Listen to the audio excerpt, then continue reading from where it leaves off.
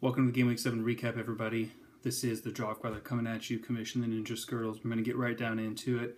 Uh, all of the top five teams in our league lost this week. That's right. Dan lost to Bacuna Matata. Raheem Sterling Cooper lost to the average. Placeholder lost to Crotch Shots. Fabulous, I'm sorry, lost to Promoted. Promoted got the high score of 66. Fabulous had the second highest score of 65. So, whew, narrow victory there for Promoted probably sweating bullets when Lukaku was uh, scoring goals. Milner Light closing out our top five loss to Crimson City. That really changes some things um, because now the top five look a little bit different. The top three didn't move, um, but average has moved up to number four. What is going on in our league, people? Average is the fourth place team. Come on, let's let's do better than that. That that's not right. So Dan stays in first place. He plays No Bones FC this weekend. Raheem Sterling Cooper in second, playing Crotch Shots. Uh, placeholder FC in third, playing Panda Meat. Um, promoted is in fifth. Um, we playing the Crimsons and Drogfather coming in sixth. Um, playing Milner Light. Seth, I'm coming for you. Um, let's go this week was 28. Um, for Dukes of Hazzard, Fritch, man, I'm sorry. Uh, your defense you fielded three defenders and they tallied a total of zero points. It was a rough week. It's a rough week.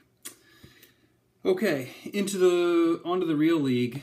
United sitting top of the table. Um, it's there. It, it, always blows my mind how they can go from you know, just complete total crap to being in the top two or three teams, or maybe even the top team in just a span of weeks. Maybe Anthony Martial was was worth it maybe 55 million pounds on a 19 year old is really doing the trick for him. It seems to be part of uh, part of the part of the deal. Yeah, so they got the 3 3 0 win over Sunderland, top of the table. City, whoo, big news, lost 4 1 to Tottenham. To Tottenham.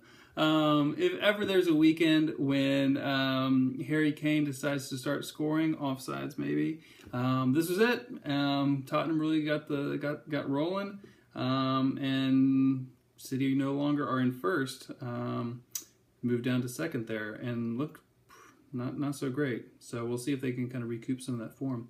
West Ham in third place, uh, drawing with Norwich. Um, Arsenal are in fourth. Um, they really beat up on Leicester uh, five to two. Um, Sanchez ran riot. Three uh, got a got a hat trick. Um, thank you, Sanchez, because you're part of the reason I won this week. And I think he even scored in the Champions League today um, although Arsenal lost in that one. So, I mean, whatever's up with that team, I don't know. Anyway, Arsenal are in fourth, and uh, we'll see if they can kind of continue the run of form um, in the Premier League.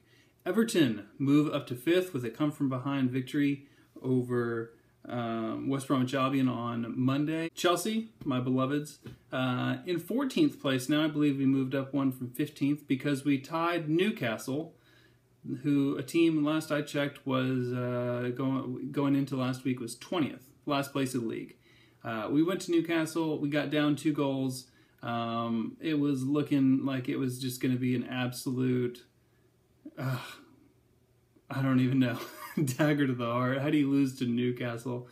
Anyway, we pulled back two goals, and the team seemed really happy about it, which I guess they, you know, it, it could have been worse. We could have lost to Newcastle. That's the Chelsea team we're dealing with uh, this week, this this year so far. Is the team that I'm happy when we come back from two goals down to tie a team like Newcastle. Um, crazy times, everyone. See you next week.